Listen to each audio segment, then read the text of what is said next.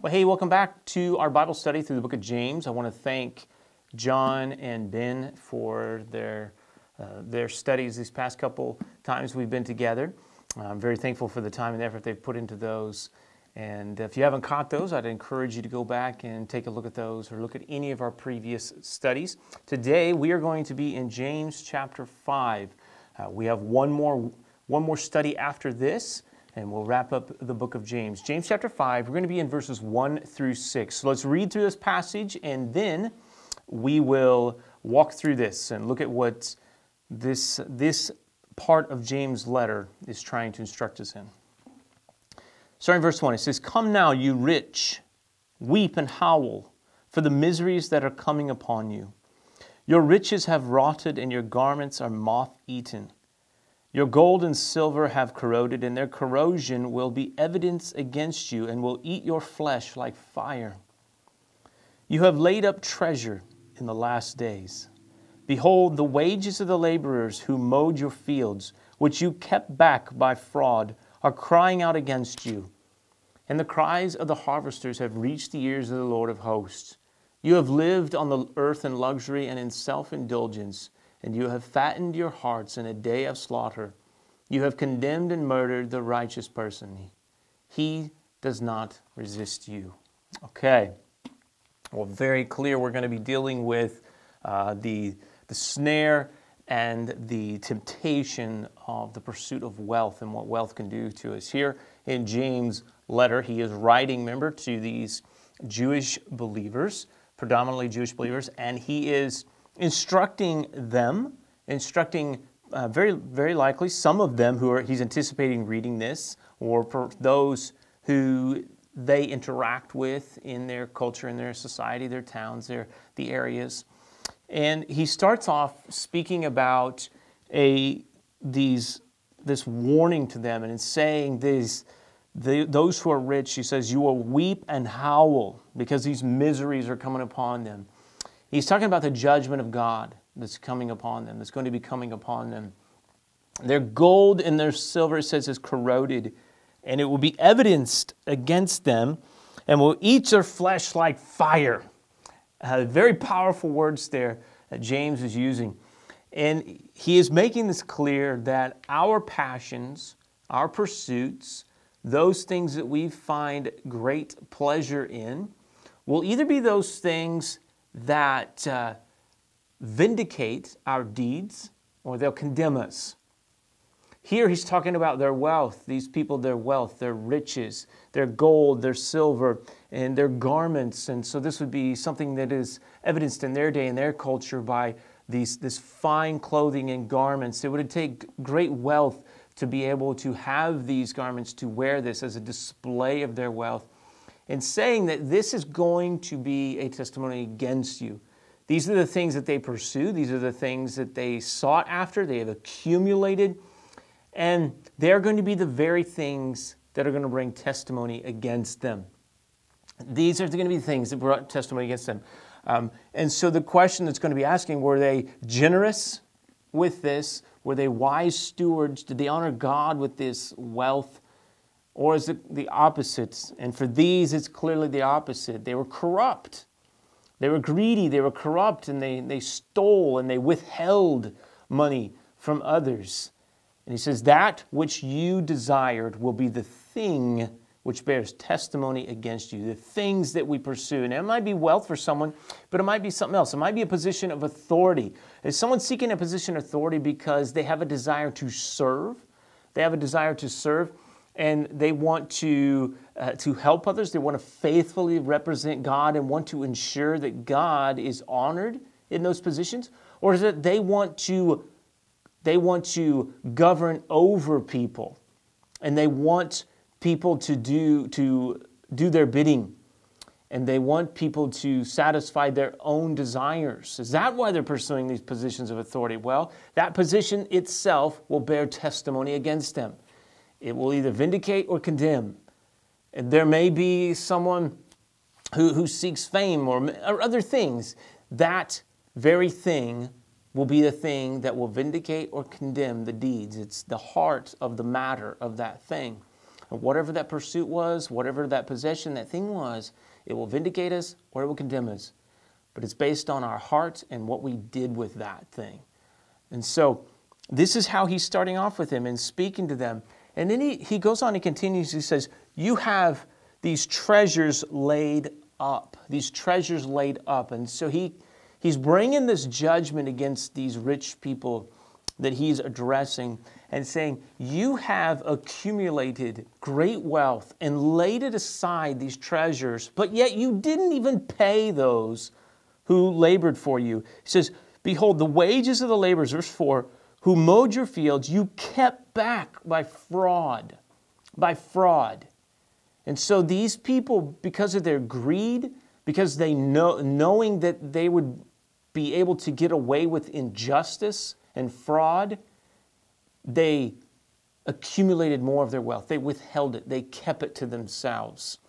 And God says, That wealth which you treasured so much and you held on to so much is going to be the thing that's going to be your judgment against you.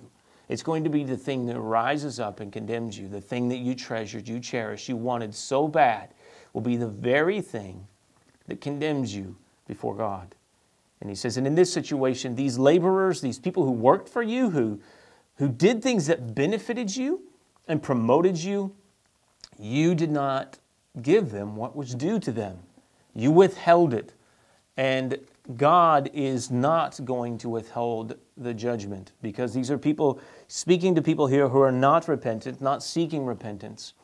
And this is a general truth that I think is very, very important to us to understand that when we stand before God, uh, nothing of our earthly uh, abilities or things that we accumulated will be something that will impress God enough for Him to permit us to enter into the kingdom. Uh, God is holy and He is righteous and He is pure, and only those who have been purified can enter into the kingdom. And our wealth does not purify us. One's wealth does not purify them. And so God is not impressed by that. God is not impressed, listen this, God is not impressed by the beauty of the beautiful. In our world, especially in our culture here in America, beauty, uh, physical beauty, is cherished above many, it's right up there with wealth, is one of the things, the primary things. And, and people become famous and become adored because of their physical beauty. And people utilize sometimes that physical beauty in ways that are not God honoring, that are godless, that actually cause, well, in some situations, they use it to bring about a, a lustful reaction in people, which in, in turn creates a, a position of those, for those people in our culture. But God is not impressed by the beauty of the beautiful. God has made our world beautiful. He has made things beautiful. There, he has made us all and created us. But He is the one who's given it. And He is not going to bow to something or someone because of its physical beauty. He is one, God wants us to be purified. He wants us, we have to be purified to be able to be for Him. The only way for that to happen is not because I go out and I perform a lot of good deeds and hoping that my good deeds will do that. Uh, good deeds are honorable, they're what we're supposed to be doing. You can refer back and look to what James says about our deeds. But we are not justified in only in those deeds. It must be that those deeds are motivated out of our faith in Jesus Christ. And they are because of the fruit of the Spirit, the Spirit who has brought us life, that has caused us to be born again. And therefore, since we are born again, we're bringing forth the fruit of the Spirit, bearing the fruit of the Spirit, these deeds, good deeds. But my good deeds do not expunge my sinful deeds of the past. Uh, those sinful deeds have to be taken care of by something else, and that is only taken care of by Jesus Christ Himself. He's the only one who can purify us of those and to justify us and to present us before the Father as holy and as pure. Now, uh, back to this specific thing that, uh, that James is addressing, the specific issue of wealth. Uh, the Bible talks a lot about wealth. It addresses it a lot. Jesus spoke a lot about wealth. In 1 Timothy chapter 6, uh, verses 6 through 10, it says this Godliness with contentment is great gain. For we brought nothing into the world, and we cannot take anything out of it. But if we have food and clothing, with these we will be content. But those who desire to be rich fall into temptation, into a snare, into many senseless and harmful desires that plunge people into ruin and destruction. For the love of money is a root of all kinds of evils.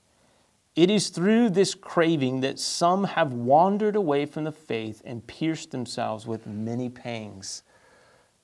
Paul is writing this letter to Timothy and urging him as he is Timothy is going to be instructing um, Paul is instructing Timothy, and Timothy is to be instructing others of this, of the lure and that that wealth has, that riches have, and how it can ensnare us.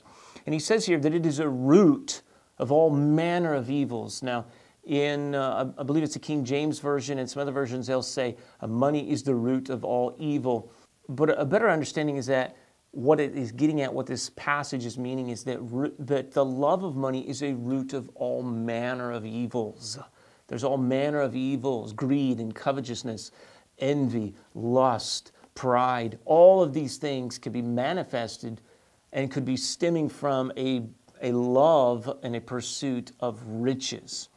And so, all manners, manner of evils, plural, evils, come from a love of money. Um, and, and so he is warning, he is warning this because there are some even this was a this is a sad thing he talks about there are some who who abandon and, and there are some who are who are wandering away from the faith because of this pursuit of wealth and that was true in the day of the apostle paul the early church just being established and it's it's the truth today we see this today in Mark chapter 10, we see another instance where Jesus is addressing a young man who has great wealth. And we and if you recall this story, this young man comes to Jesus and he says, What must I do to inherit the kingdom of God? And Jesus asks him, What about the commands? And he lists several of the commands, some of the Ten Commandments and the law. And, he, and the young man says, Well, hey, I have kept those from my youth. I've kept those from my youth. Now, he's uh, obviously this young man, he's a little naive and unknowingly boastful in his, his righteousness because there's no way he has perfectly kept them. But he is acknowledging to whatever degree, we're not going to, that's not necessary to really look into those because Jesus reveals to this young man what is truly keeping him from the kingdom the thing that is truly keeping him from it. Because that was the question he asked What must I do? What do I need to do to inherit the kingdom of God? And Jesus is telling him, eventually tells him, Well, I'm going to reveal to you that which is keeping you from it. That which is keeping you from it. This is an important thing to note too. We've been reading about the rich, and James is talking about the rich, and it's, it was, his address is a very negative uh, approach, but understand he is addressing certain specific people and the pursuit of wealth are the things he's addressing. Because Jesus here, well, if you read in Mark, and you read in Mark chapter 10, verses 17 through 31, read that account of this rich young man. It says that Jesus loved this man. Jesus looked at this man compassionately. He was not indignant. He was not upset and frustrated about this young man or towards his wealth, but he loved him and he had compassion upon him. And that's why motivated Jesus sharing with him this is the one thing that's going to keep you from the kingdom it is your love of money. And he tells him that in this way He says, You lack one thing. Go sell everything you have, give it to the poor, and come follow me. His ultimate one thing he was lacking was that he was not willing to follow Jesus wholeheartedly. He, there was something in the way he was his money because it says then this young man left and he was greatly saddened and grieved by this because why because he had a he had a multitude of possessions and he had to leave uh, just frustrated at this. Now, Jesus then talks to his disciples and he teaches disciples and he just tells them that um, it is exceedingly difficult for the wealthy to enter the kingdom of God. And the disciples are astounded by this. As a matter of fact, then Jesus says, you know what? Actually, it's impossible for man. But with God, it is possible. Remembering this, Jesus called to himself some wealthy people, people with, with, uh, with means, even people who had, who had uh, gathered those means in corrupt ways. The, the, tax collectors, you think of Matthew, who becomes one of the 12. Um, you think of Zacchaeus and other tax collectors. Jesus brought the gospel to them, the message to them, and called some of them to himself. So he, it wasn't just a, I'm not even going to talk to them, I'm, they're just corrupt to the core, and there's no way that these people could ever, ever turn from their sin. But he has compassion upon them, reveals to them their greed. Some of them repent, and many do not. Now, one last thing I want to bring up as we kind of bring this to a conclusion and wrap this up. One last truth about the love of money. Um, one does not have to be rich to be ensnared in the love of money. Um, there are many people who are of very meager or modest means who are ensnared and enslaved to the pursuit of wealth. It's not just a rich man's problem. It sometimes is more obvious there, uh, but there are people who have wealth who serve the Lord and love the Lord and want to use that wealth to honor Him and be a blessing to other people. And there are also a multitude of those of modest or meager means who are ensnared by the pursuit of wealth and they believe that money is the answer they're seeking after. It's, they believe that money is what they need. Um, what we need to do is to seek after the things of God and, may mo- and, and not allow money to ensnare us and, may, and not allow it to be the thing that we're pursuing after, that we wouldn't be plagued by it. We live in a culture where we are abundantly blessed individually, and we should be thankful for that. As, as we are seeking honest, we are making honest wages and, and seeking to honor God with that, we should, we should be thankful for that. Uh, but always remembering that we need to be seeking the kingdom first, pursuing those things that honor Him, pursuing that righteousness and pursuing after Christ to honor Him, and not allowing wealth, uh, which is one of the great gods of our culture to ensnare us and grip us, and that would be the thing we pursue. Well, hey, um, let, me, let me close this out in just a word of prayer, and then we will wrap up our moment.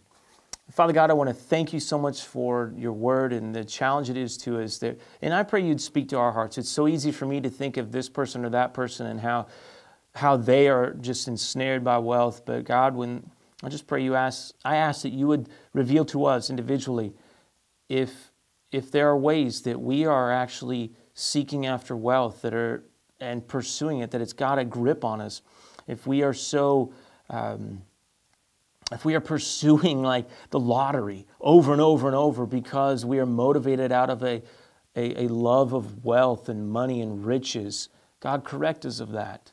Help us to follow after you and to honor you and to be thankful for what you have given us. It is in Jesus' name we pray. Amen.